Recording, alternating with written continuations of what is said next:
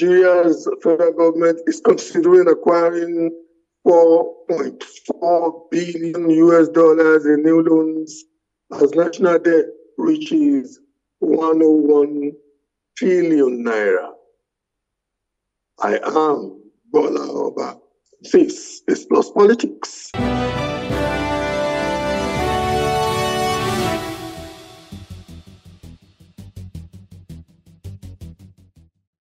For the government to secure four billion dollars new loans as burden its as loan burden it's 101 trillion naira. In the past year, the federal government has obtained loans totaling 4.95 billion dollars from the World Bank, resulting in a total public debt of 101 trillion naira. This has raised concerns about the rising expenses associated with servicing external debt. According to data from the Debt Management Office, the nation's the nation's public debt stood at approximately 97 trillion naira in December 2023. Furthermore, the government anticipates securing additional loan approval amounting to 4.4 billion US dollars from both the international lender uh, and the African Development Bank within the next 12 months. These rising expenses associated with servicing foreign debt pose a serious threat to Nigeria's economy, potentially leading to a diversion of resources from essential areas like healthcare, education, and infrastructure, thereby worsening socioeconomic issues. Nevertheless, a significant number of Nigerians have developed a growing sense of resentment whenever they learn about the government's plans to borrow, considering the prolonged deterioration of infrastructure and rising unemployment rates. They find it difficult to justify the need. They find it difficult to justify the need for additional borrowing when past borrowings have not been adequately accounted for. Joining us to look at this is a research analyst at Lagos Business School, Edidiong Ekoto.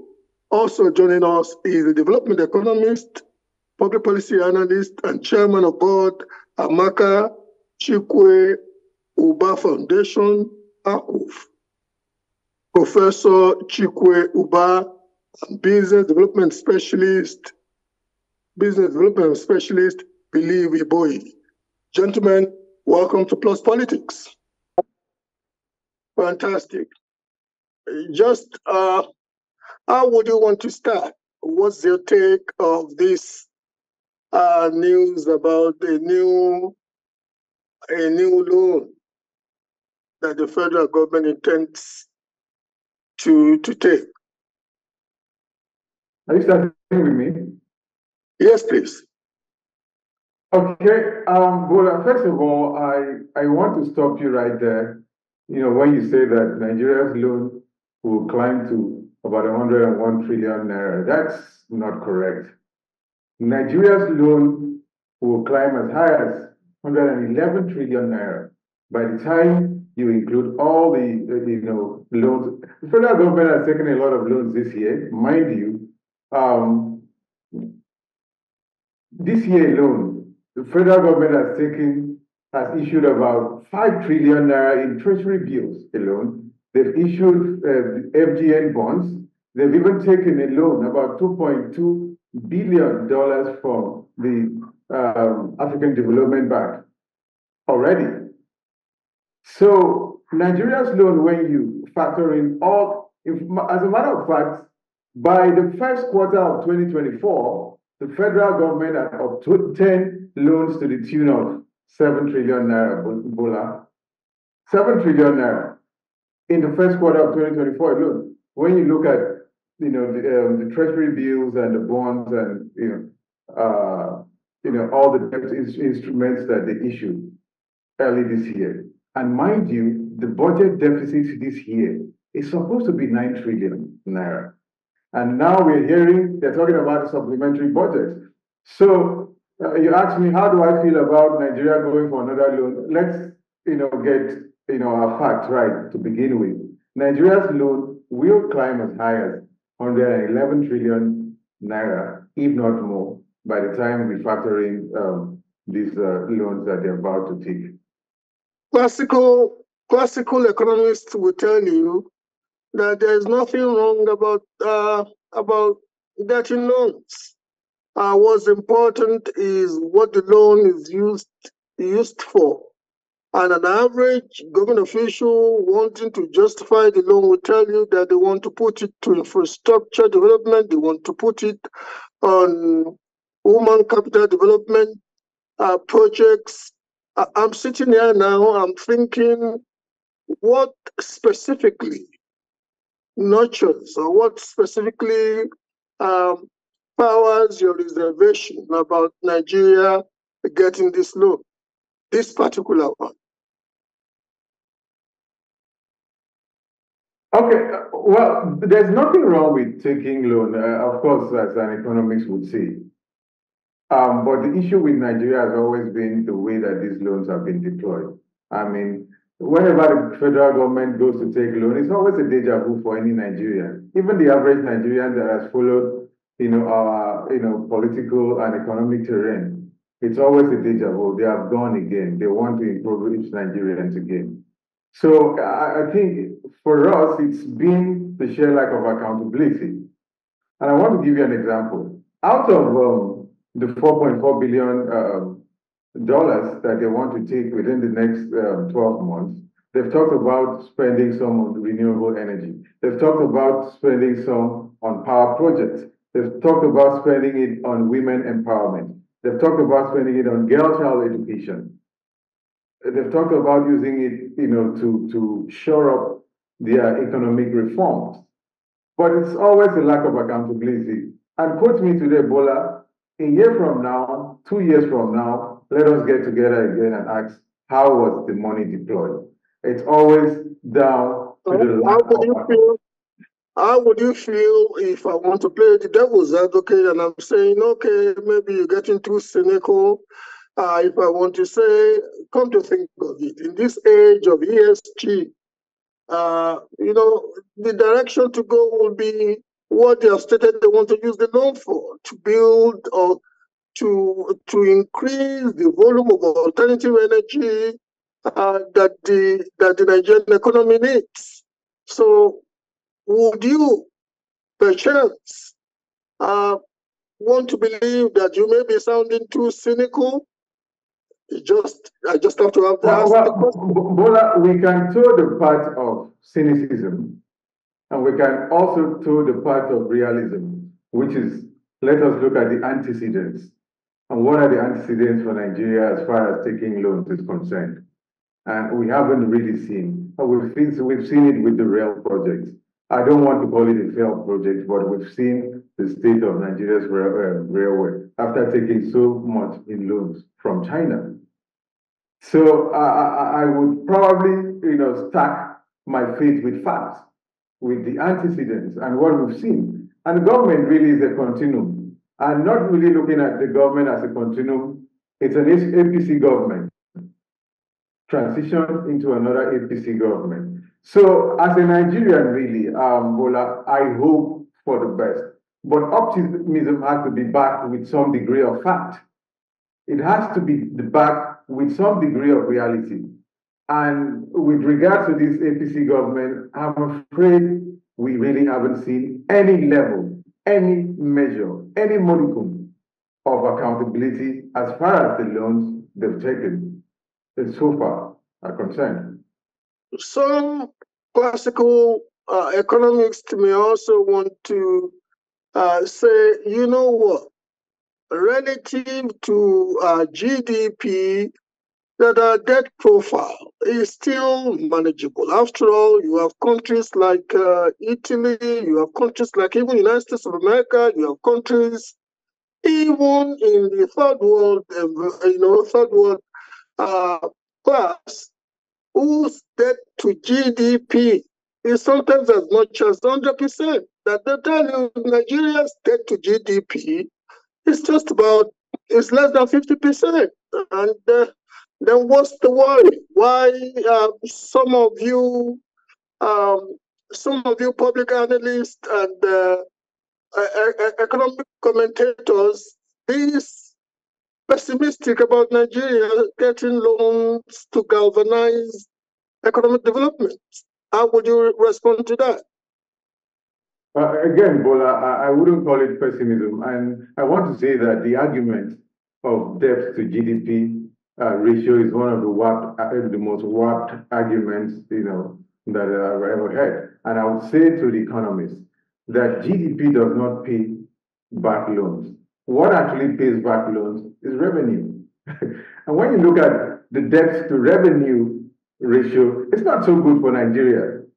So uh, I would encourage us to, to refrain from always going to, because that's always the argument most of the time. The government will say our credit ratings, you know, internationally are still good. They're, they're going to say um, our debt to GDP is still good, but GDP does not pay back uh, uh, debt. What pays back debt is uh, revenue. And I, I had an interesting chat with the Director General of the Budget Office some time ago, a few months ago, and asked him the question, why are we always operating this deficit budget, uh, the budget that we always have to, you know, go a borrowing to, to fill this shortfall? And he said that the key for us is to generate revenue, and we are not currently there. His exact words. And, you know, listening to you, I cannot but uh, remember that dictum that he who goes uh, borrowing goes uh, sorrowing. But we are talking about national economic development now, and I, I must, uh, like I said earlier on, sorry if I'm sounding a bit, uh, I must play the devil's advocate. I must test the integrity of uh, your submissions and your reasonings. Uh, and another direction I want to take it to would be okay, what is peculiarly, what is peculiarly bad about the Nigerian revenue profile that is uh, that is making somebody like you to sound like an alarmist? Uh, just asking, not that I want to be rude to my my revered guest. I just have to ask you, what is peculiarly bad about our revenue profile that is making that is perturbing enough to you to be sounding this clarion call to to realism. Okay, I, I want to start there by looking at the medium to short term um, debt management strategy of the debt management office. If you look at that document, it says that Nigeria is trying to scale back. I mean, sometime um, during the COVID 19, we saw how Nigeria uh, couldn't really play in the international capital market. And that was the reason why we couldn't really issue Euro bonds, which we are going to do sometime later this year. So the debt uh, management office said, okay, we're going to scale back on um, foreign loans, and we want a 75 to 25 uh, uh, percent ratio between um, local debt and foreign debt.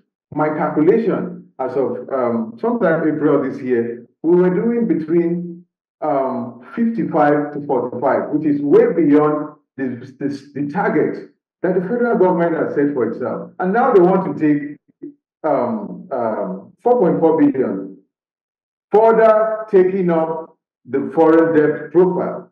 So the way we are going, probably maybe by the end of the year, we'll be looking at 50-50, which I'm not the one who set this, you know, strategy, this um, medium to short-term uh, debt management strategy.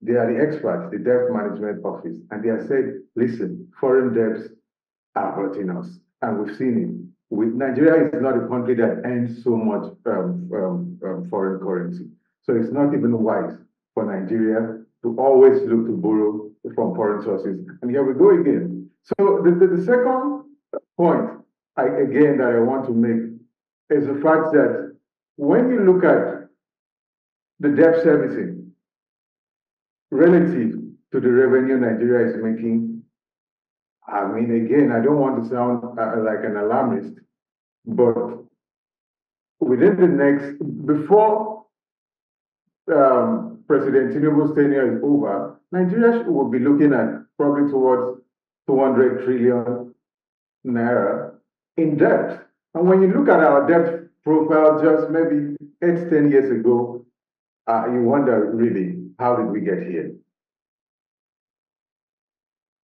Uh, we got we got here because uh, we went to borrowing. That's the reality. If we didn't borrow and if we've not incurred the debts, uh, the figures will not pile up as much as they are. We are where we are now. Uh, you see, we can we can sit here and be speaking to all the pessimist, pessimistic indications or indicators for as long as uh, possible. But talking to somebody who uh, who should be in the know, what would be some ideas that you want to put on the table for redirection?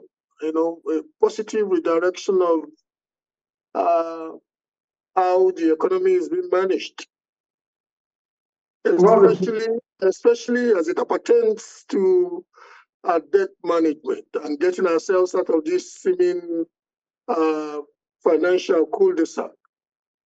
Well, the simple truth is, so, Bola. Somebody uh, was, a friend of mine once said, this fiscal madness. yeah, the simple truth is that our economic managers, they know the truth, they know the answers. During the, the campaigns, they tell us all the right things. And, you know, that gives you a sense that they know what needs to be done. It's quite unfortunate that when they get into power, they do the exact opposite. And during campaign, we heard this government say we are going to scale back on borrowing. We're going to scale back on borrowing. And now, just in its first year, they are already on the way to exceeding the budget deficit of 9 trillion. Nigeria is definitely going to borrow more than 9 trillion this year. As a matter of fact, they have already borrowed up to nine trillion. If you look at, you know, all of the debt instruments, you know, that they have issued, from the bonds to treasury bills and, you know, the loans from these multilateral agencies. So the, the, it doesn't really help when you say, I'm going to do this, and you get in and you, you do quite the opposite. Nigeria has a lot of potential with regard to um, revenue generation that we are not tapping into. Nigeria has potential in the uh, area of tourism, uh, uh, uh solid minerals. Uh, the, the, list is endless, really, Bola, with regards to, to the, the sources that Nigeria can tap. Nigeria as a country used to be the top uh, producer of palm oil in the world, just less than you know half a century ago. And today, Nigeria is importing uh, palm oil from Malaysia, from different parts of Asia. That is that is um, that is alarming, really. An average. And, and, and, and, I, and I, I, want to say this: the key for Nigeria to to bolster our economy, to to get to a level where we borrow less, is really the manufacturing sector. You look at the potential that Nigeria's manufacturing sector has, and you wonder why it has been in a perpetual state of neglect. A Nigerian, Kalu Idika, was part of the team that handed Korea their roadmap to the success that they enjoy today. Korea was not always, you know, uh, um, known for its manufacturing prowess. You mean uh, uh, Honorable Kalu Idika Kalu, former Minister of Finance under Babangida, and a former World Bank World Bank expert. Oh, okay, I, I'm I'm just have to ask you this: a fanatical supporter of the president may tell you, okay, what else would you want him to do? He came into power, he, you know, the sheer mark of much courage, he removed subsidy you know, apart from removing subsidy, he's been trying to do all he knows best to do with his economic team to to revitalize the economy. But in the interim, uh, there are some imperatives that any reasonable government must uh, must do. Imperatives such as uh, funding the budget, imperatives such as uh, you know, welfare in a very poverty-riddled economy like ours, and where uh, far above 60% of the population uh, lives in utter indigence, you know, welfare services and, and all the nuts. So why are some of you people critical? These are just seemingly inevitable.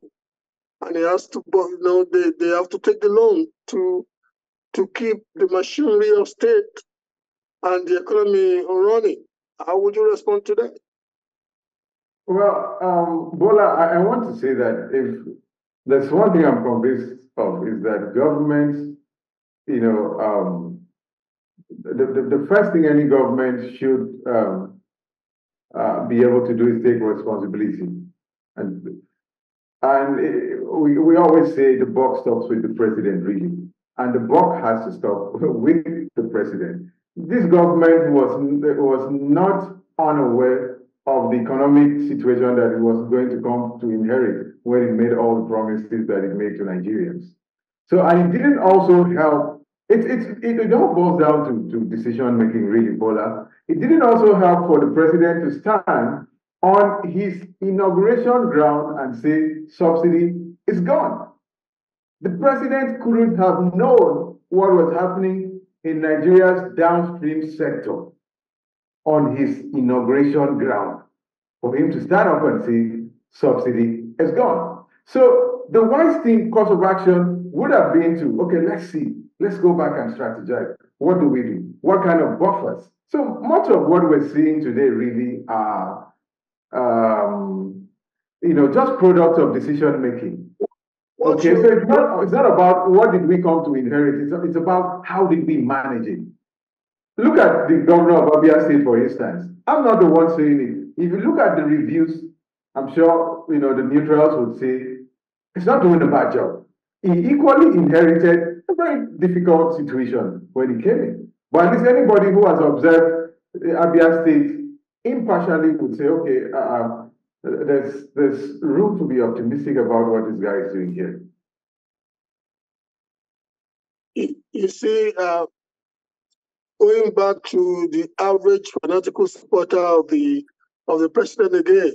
Some tell you, ah, but any reasonable or any average follower of uh, political of the political economic situation of Nigeria would have known that uh, at the point where he was uh, reading his inauguration speech, it was indeed a fact, a fact in law that uh, the preceding administration had enacted a law for the uh, total escapation of, uh, of subsidy.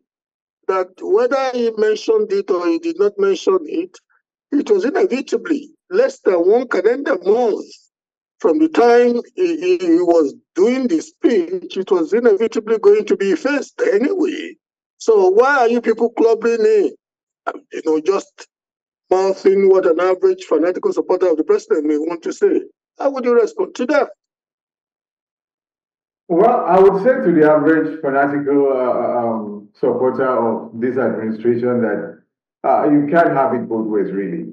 This administration, the APC government in general, we've seen how um, adept they've been with regard to flouting. This is the first government we see, they flout us. They treat basically the constitution like a list of suggestions. So you cannot just come and say, okay, I, I'm not sure if there was any law really. But even if there was, we've seen time and time again the APC government treating the constitution like it's a list of suggestions. So I'm very sure that uh, um, if they wanted to uh, uh um, critically evaluate what was happening to say, okay, before we stand at our uh, inauguration ground and say subsidy is gone, let us go back, strategize. What kind of buffers do we offer to Nigerians?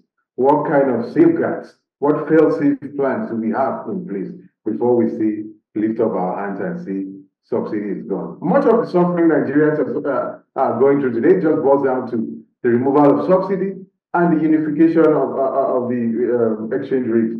And these um, to uh, policy reforms, as much as we know in the long run what's supposed to you know, benefit the Nigerian economy, they were not well thought out, and the extenuating circumstances were not put in place, unfortunately.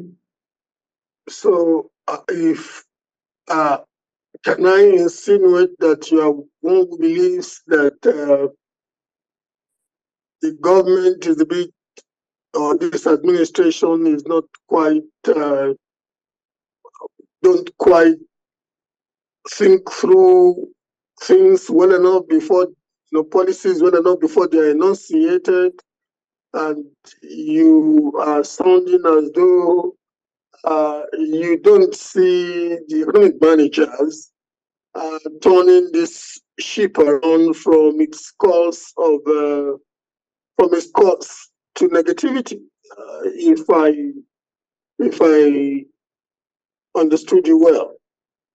Um, I'm afraid so. I would have to say so, and you just hear me out so that I can at least give you the reasoning behind my uh, submission. Go ahead. Go ahead. I've, I've always been wary of a governance system that is based on a reward system. Okay, because this person worked during election, let us give him this position. Because this person did this during election, it, it, it, it doesn't have to boil down to that. We saw just a few weeks after the uh, ministers were inaugurated, a minister was uh, uh, um, uh, uh, booked for you know financial malfeasance.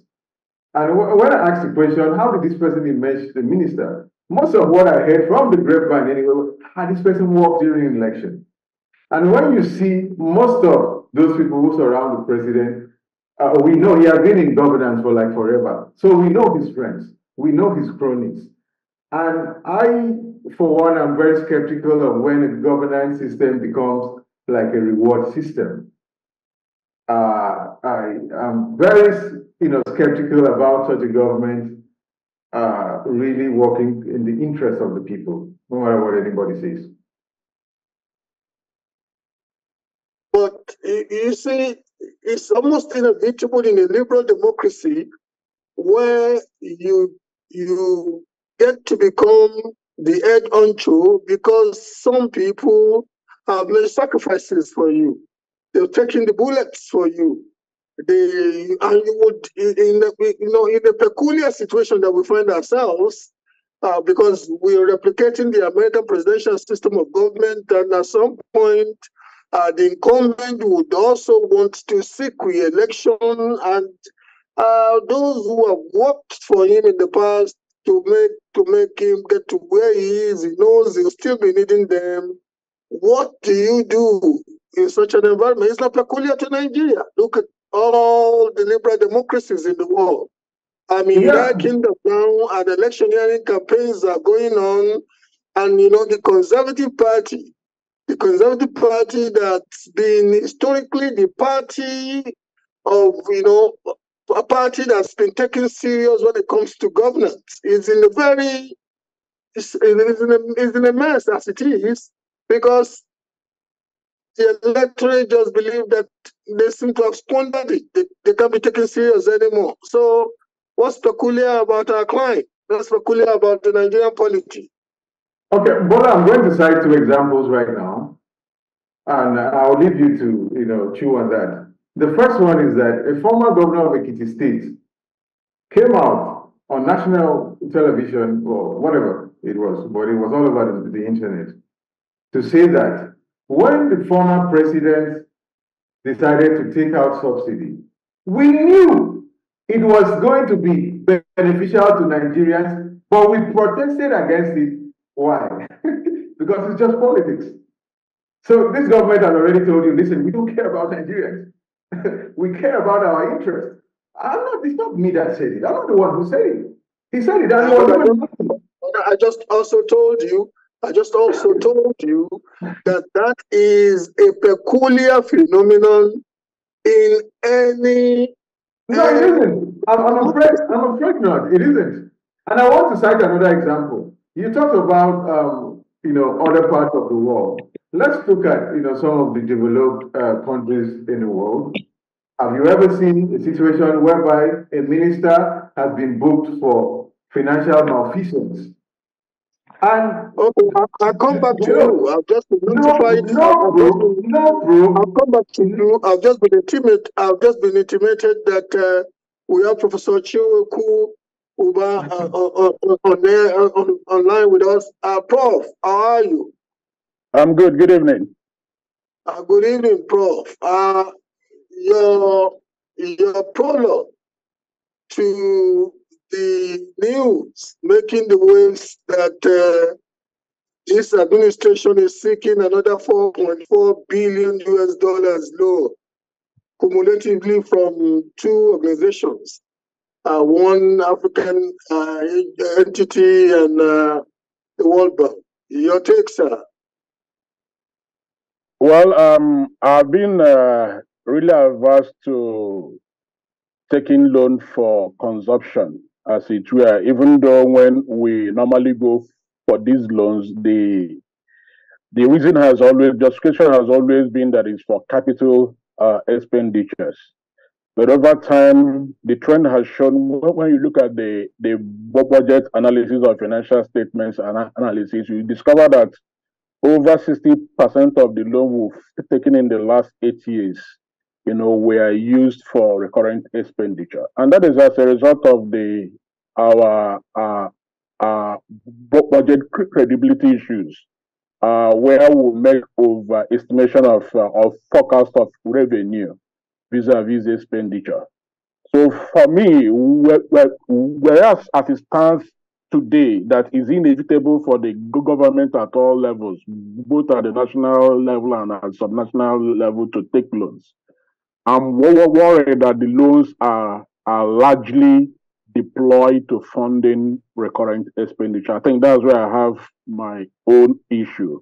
And if you check the debt service rates over the last two years or three years, we have used over 80% of our revenue to service debt, not just to repay debt, but to pay interest on, on, on, on debt that we have accumulated.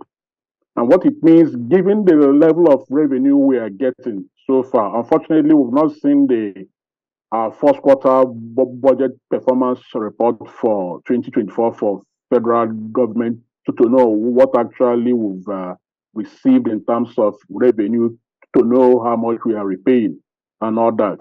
Uh, on that basis, I'm very, very wary, afraid that taking more loans will cause us more problem. But if we have been very, very disciplined in the deployment of loans we've collected in the past, you know, in funding productive capital projects, mark my words, productive capital projects, uh, I wouldn't have any issues.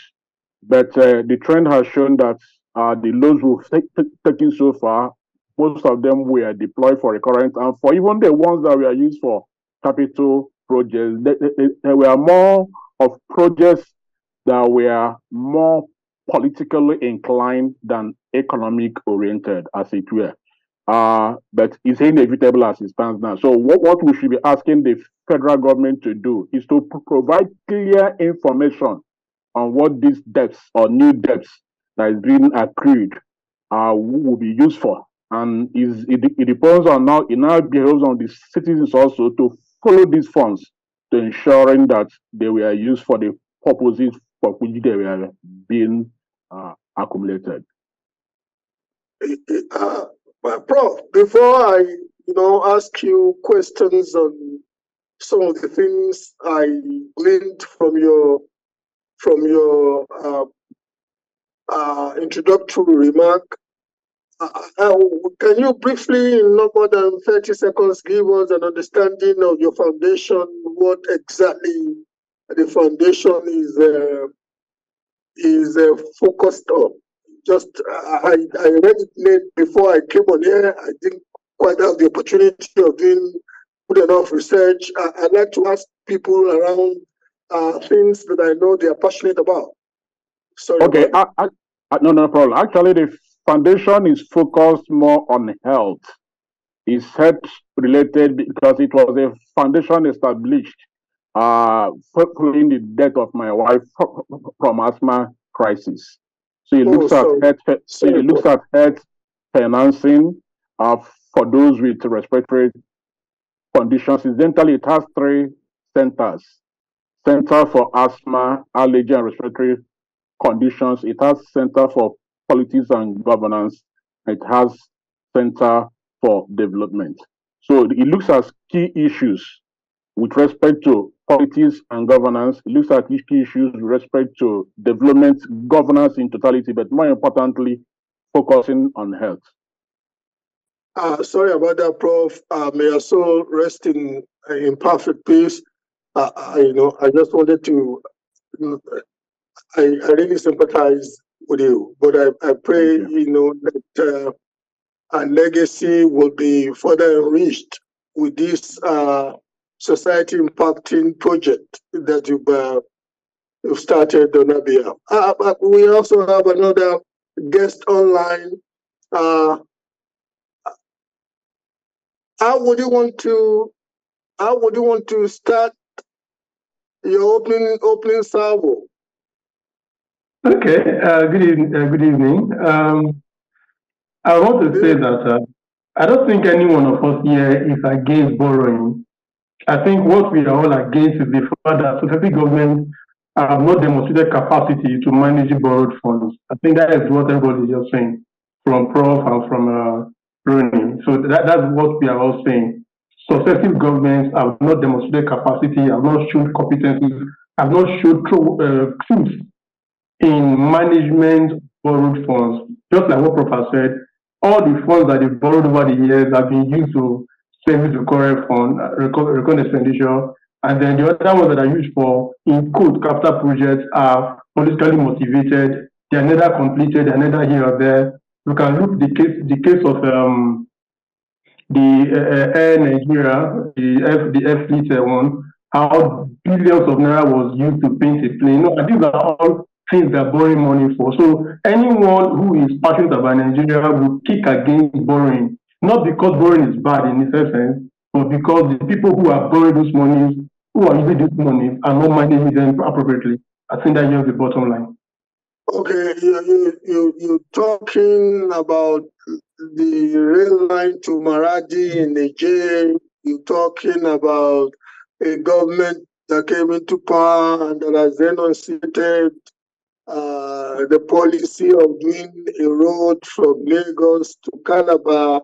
For some, especially those who would uh, who would ultimately benefit from projects like this will tell you how political they may be, but they are going to be positively impactful. That the multiplier effect. You can imagine if you have a robust arterial road from Lagos going to Calabar, the enormous amount of economic activities that will be galvanized on the coastline of Nigeria across about nine states of the Federation and I'm I'm listening to to you, not you alone, even Prof and uh, my uh, author guest. I'm thinking, uh, are you are you experts not getting too cynical? Or could it be the fault of the political class? Oh, you're making fun of me. May God forgive you. I'm doing the sign of the cross for you. I, I, I, I- you know, and I'm thinking, you know, I, I'm also thinking, you know what? As somebody who has uh, been around, I, what would you have done if we were to swap places today with the president when you have this mediocrity already entrenched in our senior civil service? When you don't have professionals who can hold their ground and tell the political class, because in most of the societies where we have seen successes, be it China on the extreme end of the pendulum, if you want to say autocracy, be it Singapore, if you want to say liberal democracy, be it even Rwanda, if you want to talk about, you know, level of, uh, uh, you know, developmental strides, at least in the same geo- uh, geographical or geopolitical zone, I'm sitting here and I'm thinking all the societies that I've seen being positively transformed in the world, the, the machinations, power driving these successes, the sustainability of these successes are actually built on the competence of the civil service. What would be your response to that? Uh, I wouldn't say it is absolutely built on the competencies of the civil service. I would rather say that uh, yes, it is, but the political will is stronger. It is the politicians that are in the key decisions. What we have a permanent secretaries and those guys don't really have the capacity. Commissioners for these, ministers for that, these are the people who make those political decisions. These are the people who sign the checks. Not the permanent secretaries, not the level 12, level 15, level 16 civil servants. You understand? So the bottom line is that it is those in politics, those who hold political positions, elective positions that make key decisions. And as long as these guys have not demonstrated competencies, we're going to keep having these challenges. So I think it's, it's we call about leadership, right? So we have over the years we have politicians who have not demonstrated leadership capacities in any way. And just like what the other uh, uh, panelists said, we now have politicians who are placed into positions based on reward systems. And that is the problem. Not because the person is competent, not because the person is an aristocrat, or not because they has one industrial experiences or whatever experience. Now you notice that the few positions that are appointed based on competencies, like uh, a guy in the, the, the, digital economy right now, and those two guys that are in the digital economy space, and all that. you see that the, the, the, way they are pushing for development is not the same way those who came in there purely by political appointment based on reward system. You, you see the, the, the, the, the, the gap. It's a huge gap. So if government really wants to do the right thing, the bottom line is they must be able to appoint people, whether from the civil service level or from the corporate uh, uh, level, they must get people who are ready to do the work. It's not about qualification. Okay, you, seem to be, you seem to be doing an intellectual overkill of the point. You, you, know, you know, I'm feeling, I'm feeling you're giving me a roundhouse intellectually, or now you, the pungency with which you're making the point and the examples you're using. Uh, nobody can fault your argument in the allusion you've made to uh, the Minister of Digital Economy. Let me go to your colleague now, uh, not Prof, uh, your my guest number one. Uh, okay, uh, you know, your colleague has knocked me back to you now that maybe is the lack of seriousness of the political class and the overemphasis, the rewarding uh, partisans like them at the expense of professionalism and, uh, and expertise uh, that seems to be pushing us further down uh, this uh, this ladder. Um, what do you have to, to say to that? Although it goes in the direction of what you had earlier expressed as, as a point before. Yeah, um, well, I think my colleague here has already uh, made a very fine point to that end. Um, political appointments that we have seen uh, I think that for me was uh, the, the, the, the worrying sign, the number one worrying sign. And I was going to make the point earlier that we have a guy who is in charge of a ministry, and there's a huge corruption scandal. And we didn't really have so much in terms of investigation. And the same person is the president of the Senate today. We, we've not heard the last of the corruption scandal at the NDDC. So it, uh, uh, but actions inspire hope. It's not what you see, no matter what you see. It doesn't really inspire hope with uh, you know among the people compared to what you do. And when you do things like this, the situation whereby you know someone is in the you know spotlight for you know political corruption, and the next moment is getting a promotion. Uh, it's I don't really know. Uh, that's why I, you know I sound so pessimistic. Okay, okay. we have we have a couple of minutes, uh, and uh, it, it is my tradition to not let my my viewers, uh, you know, uh, not leave them in hopelessness uh, or in utter pessimism. I, I, I, know the reason we have called upon the three of you uh, is because we know you have something upstairs. What are the ideas that we we people like you would want to put on the table even if they don't eat those advice, at least some people will remember that uh, somebody said it the other day or somebody put it on the table. Let's go in the direction of uh, profiling solutions or profiling uh, disaster rescue ideas. i start with you. Okay, yeah, I, I think that um, first of all, this government needs to cut down on its pushback.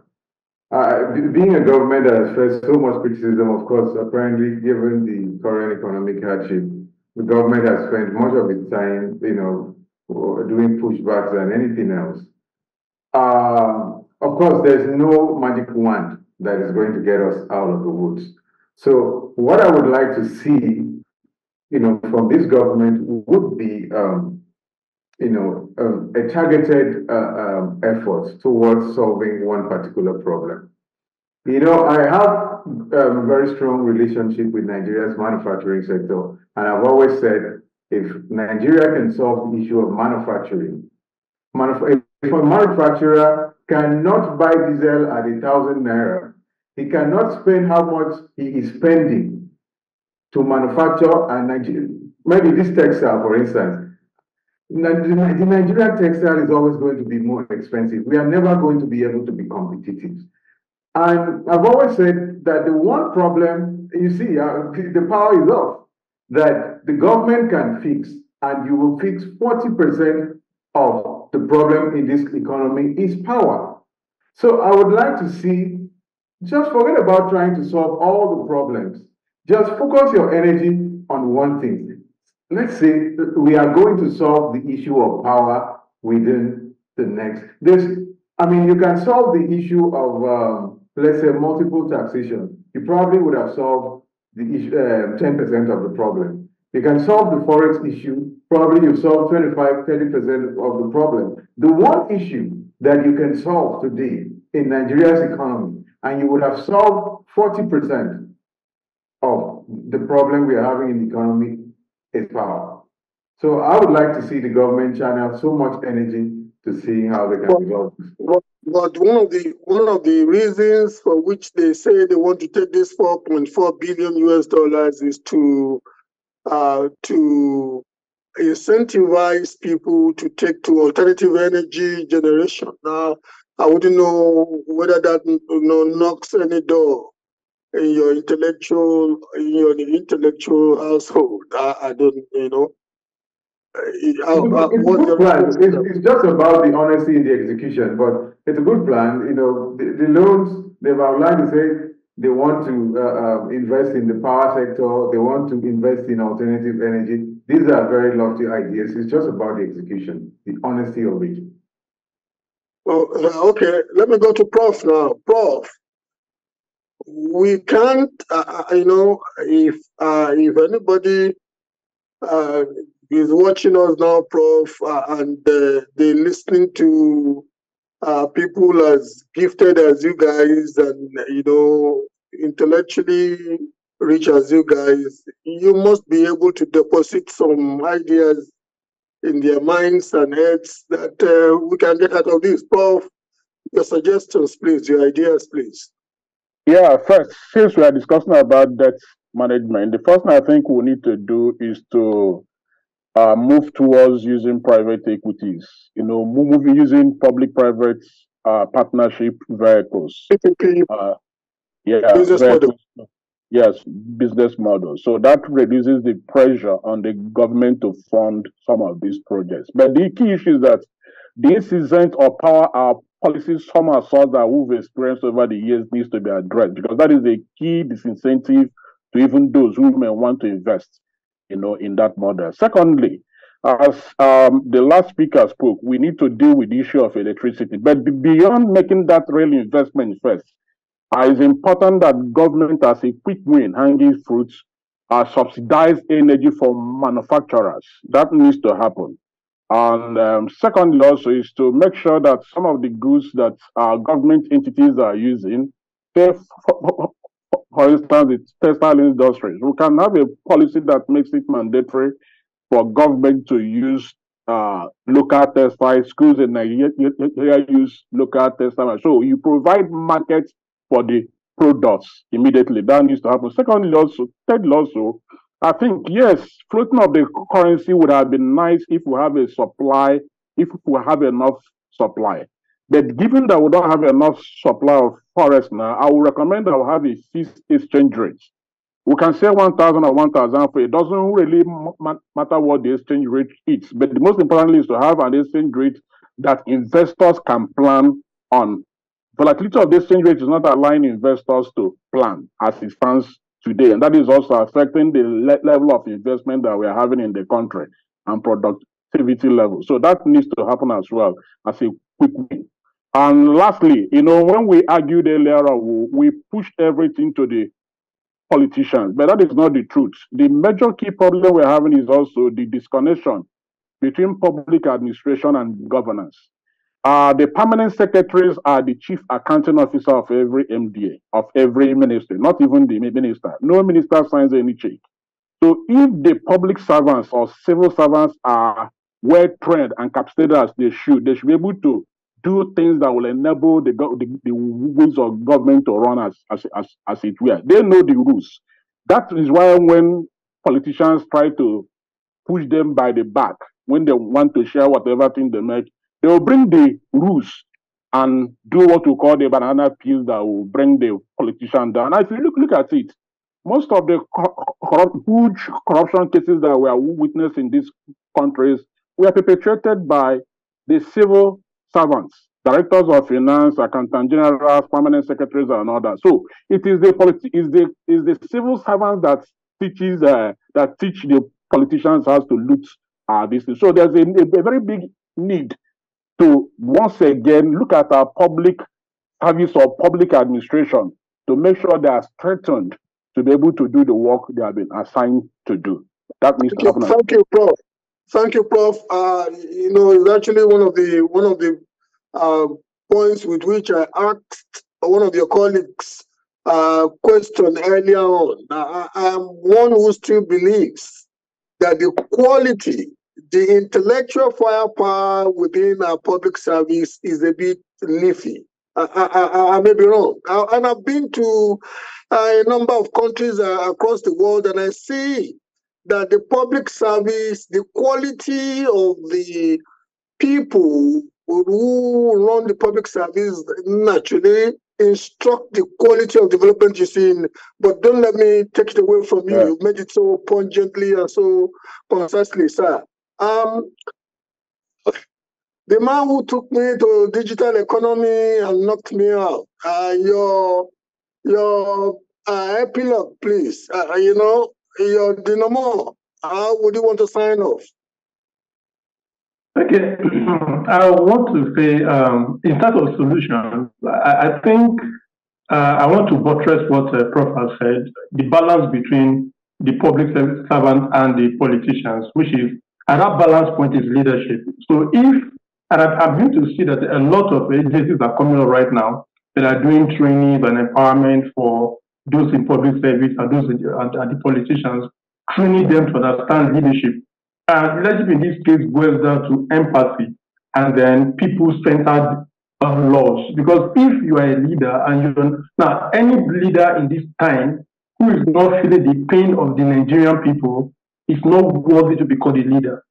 You understand? So that, that is my point. So we must come to see that there are people who are suffering in the country. Therefore, leaders must not take charge and take ownership of how do we provide solutions to these people. So now, once you understand the concept of leadership, empathy, and people-centered decisions, now one very key thing that must be taken into urgent consideration is the government should stop pushing money and focus on capital development. Now, the, the, the, emphasis on money, money, money, the rate at which people are hearing figures, $3 billion, $100 billion, $1 trillion, these monies are too huge should be measured as if they are just 5,000 or 50,000, 100,000 naira. So the emphasis should, should, should reduce from money pushing to capital development uh, projects, and then that helps people to now focus on growth. thank you, gentlemen. You have, ra- you have actually enriched the program today. I've learned one or two things. I've you know, very stimulating intellectual uh, session with you guys. We do appreciate you and be rest assured we'll be we'll be calling on you some some other time, not too not too far away. Thank you. Thank you. Thank you very much. Um, for those of us watching, this is where we wrap it up for today. We want to say thank you for being part of the program. Um, my name is still Bola Oba. Have a good evening.